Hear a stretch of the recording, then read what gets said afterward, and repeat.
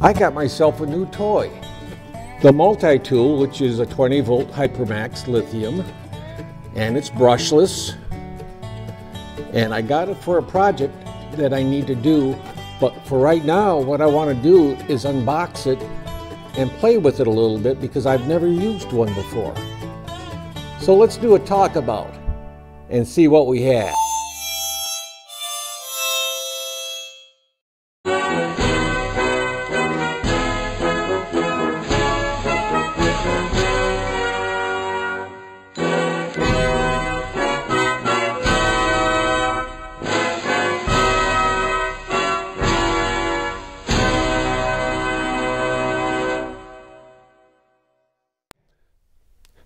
Scott Bame. They call me the old farmer.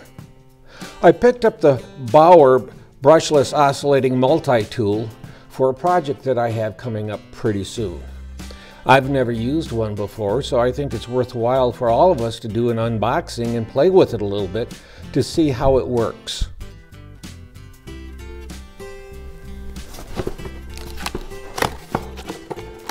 Now, I'll be honest, I did, I did break the tape on it. We all know how hard it is to get the tape out. Now there's no tool that comes with it, although we do get some worthless sandpaper. Boy, that is some crappy stuff. Now I did buy some blades. Let me pick up some blades. Can I put them here? Yes.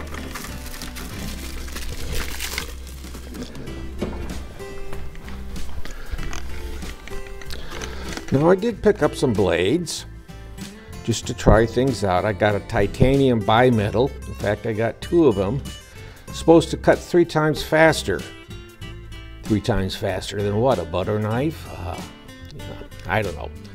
But uh, I understand the theory behind it. I've seen them being advertised, oh, for the last, what, 20 years or so. Not Bauer, but different companies that did it.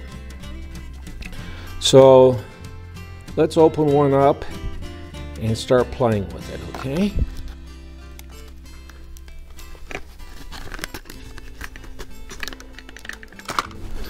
When in doubt, bring out the old tin snips. That'll open up any plastic thing.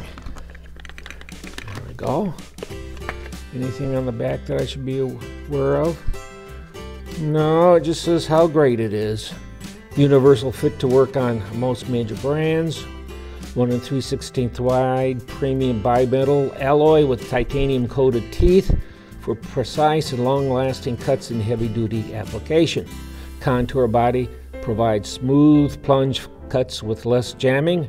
Laser etched blade features a depth gauge for accurate plunge cuts. Okay. Now, I knew when, from the first time I saw one of these, and it was a TV special where you, as seen on TV, only it was, as I said, 20, 30 years ago. And I kind of, at the time, thought, why would anybody need one of those? But, you know, people have used them and found out that they're worth getting, and now I have a project that's worthwhile. So,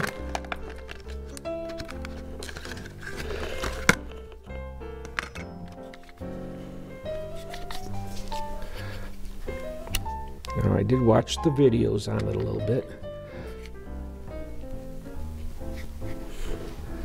Okay, the lever here. There we go. Stick them the, the blade in, although it doesn't open up quite wide enough. There we go.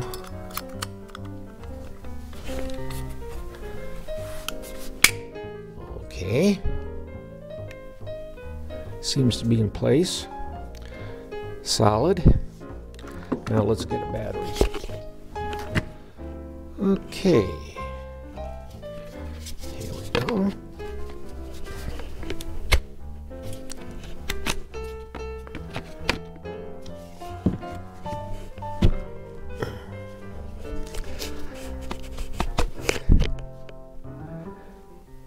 Would you believe Let's try another battery.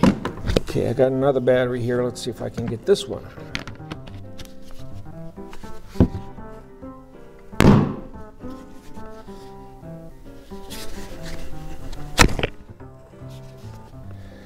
She don't want to go on.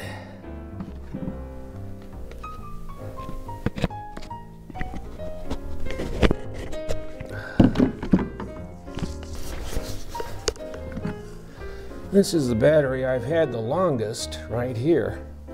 So let's see if this one will fit.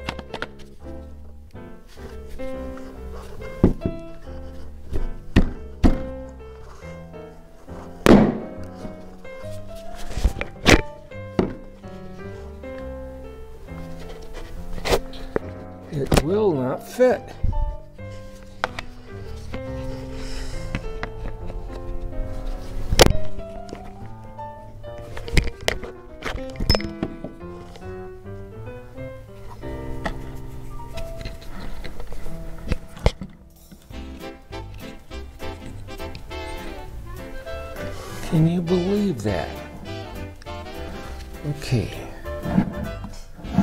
What's the problem?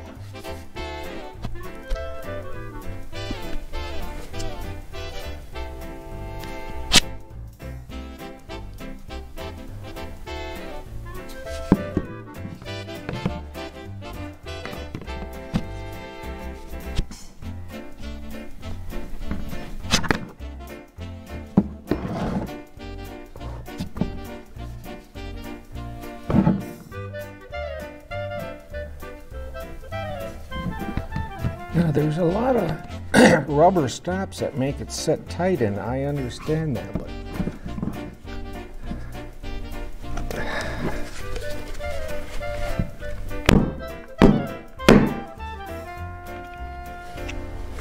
see, I'm not getting it past the. I'll tell you what. I'm going to stab myself if I don't take that thing out. Unbelievable.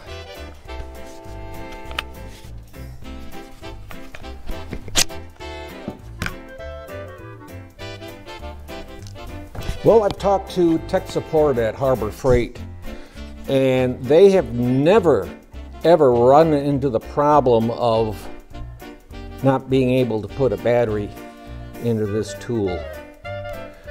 In fact, they haven't had this problem with any of the Bauer tools. So if you've had a problem, I'd like you to leave a comment on it. I think maybe looking at it, part of the problem is, let's see if I can get it so you can see it. Right here, these pieces are angled down, okay? There's, there are friction points here to hold it in place besides the latch. But if you look at it, this is concave. Let's see. And it doesn't need to be concave on the battery. So right here, this is concave. And this is squashed down. So uh, this little puppy's going back to the store. I've asked if they wanted its label to be sent back for inspection and they said no just have it replaced. They think it's just a, a one-of type situation on it. So uh, that's what we're going to do and then we'll fire up this uh, video once we get the next tool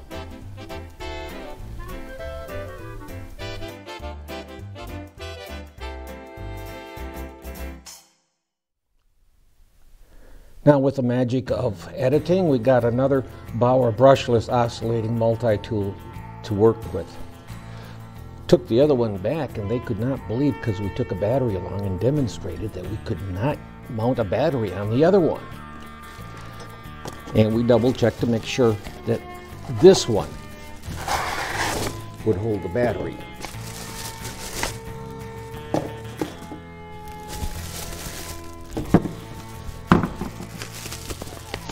Here are the instructions.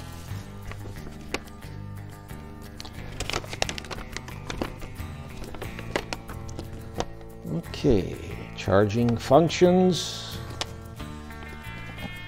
Okay.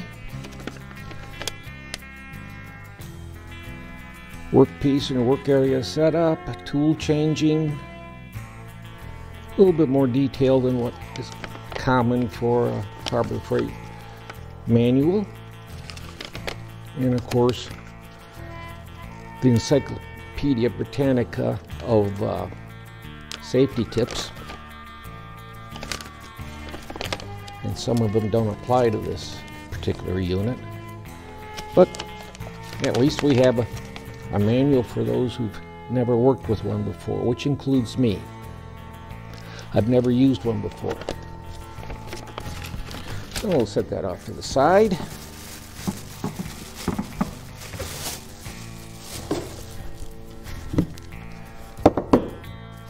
Let's take a battery, put it in, and see if it will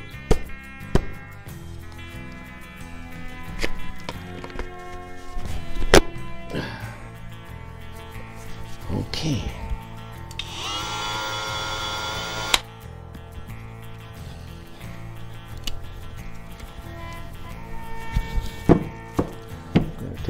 Battery back off. At least I got the battery on. Okay.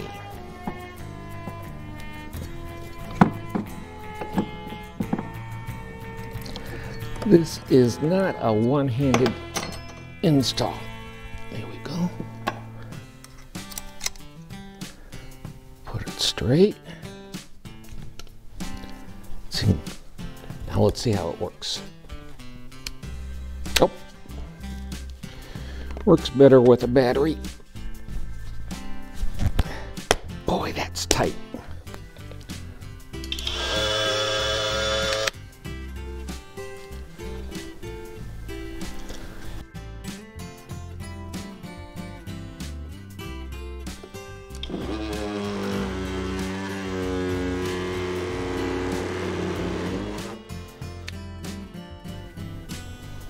Okay, this is supposed to be used, be able to be used with wood, and I find it kind of limiting. It's, it's not cutting in too good. Let's try it this way.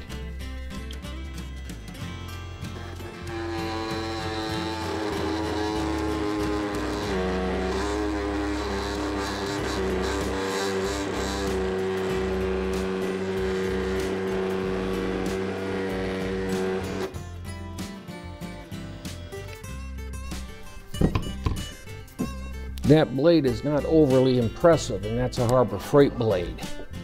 In fact, here's one right here.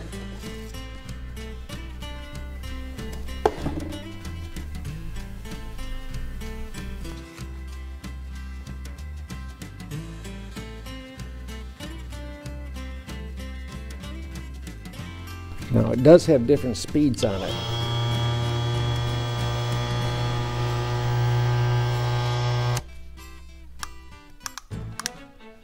And you have to turn it off to adjust the speed.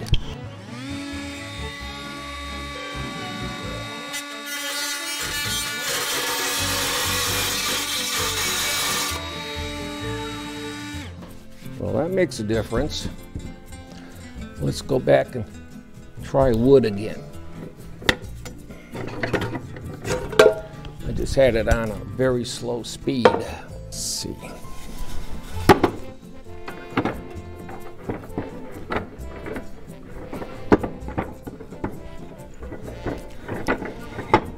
So keep in mind with the Bauer, you have to have the switch off, not running to adjust the speed. Before I had it on uh, the slowest speed, now I got it on the highest speed. Let's see what happens.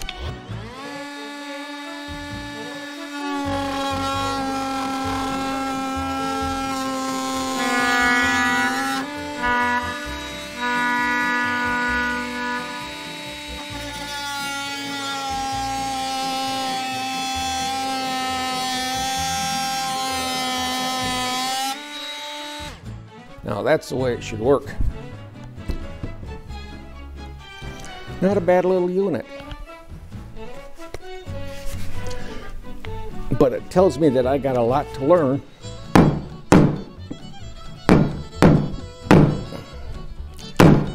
Boy, that sits on there hard. And I talked to the uh, tech support, got a hold of a real smart guy there. And uh, he said they'd never run across this problem before. Well, I think for safety purposes, when storing it, you don't keep the blade on, you take the blade off. So, that's it. That's it. That's a unit. There's a speed control right there. Balsa wood maybe on one, everything else on six, which is the highest. Looks pretty good. Balance.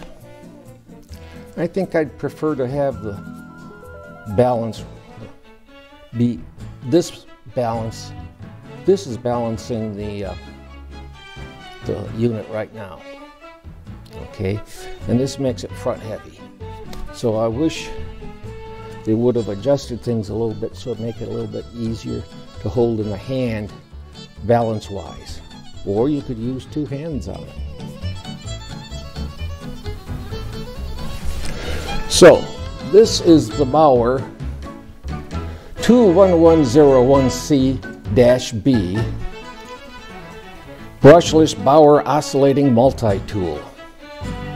Goes from 8,000 shakes to uh, 20,000 shakes per minute.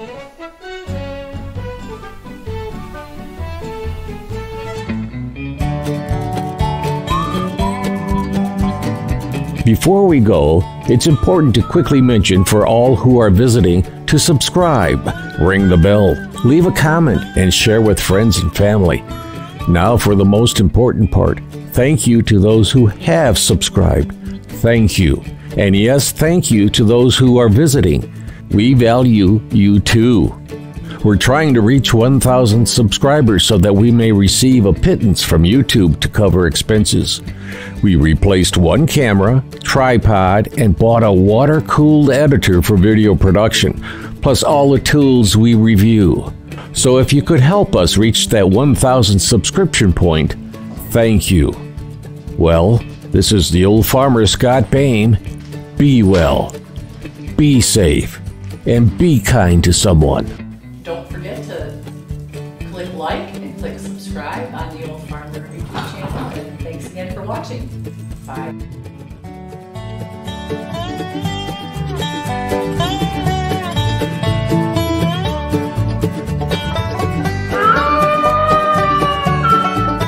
The VFW National Home for Children, providing families of veterans and active duty military opportunities for growth and development in a nurturing community. Please consider a donation to help their children and families. I. C. Rhodes speaking.